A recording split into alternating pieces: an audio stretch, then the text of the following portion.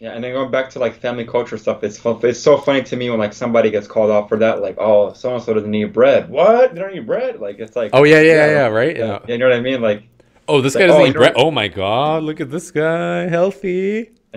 yeah, he eats a lot. salad only. Wow, look at this guy. Are you on a diet? Are you on a diet? No, I'm not on a diet. It's just I don't want that. You know what I mean? It's like, I remember whatever that. I remember that. I used yeah, to yeah, do like, that. what- like like whatever happened to not eating bread for like. Oh my meals, god! you know? And the best was like fucking when like the older folks like they have to eat bread with everything, bro. They have to eat Yeah, yeah. bread with pasta. They got to eat bread with bread. They got to eat bread with pizza. it's like, dude, you don't need bread. You don't need bread for that. It's like, what are you doing? bread with Yeah, rice, even. I'm like, oh yeah. why do you need bread with rice? What the hell? Yeah. I mean, the one exception for me, I love when bread is cooked like fresh, like pogača, quote unquote. You know, Oh, that's the freshest bread right there. German, oh man, uh, not German, fire. Bosnian word of the day here. Yeah, pogača right there.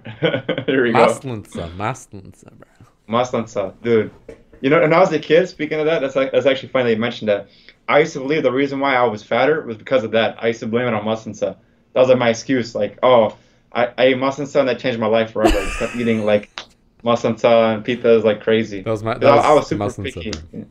Yeah, but yeah, th- those bread foods, man, when they're fresh, they're amazing. Of but course, it's the best thing. but like, I mean, I don't even. Yeah. I don't even think that's that unhealthy. But what is unhealthy is like you know, fucking coke, bro. That's what's unhealthy.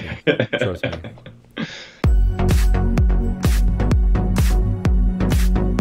You're watching Izzy and Ibra TV.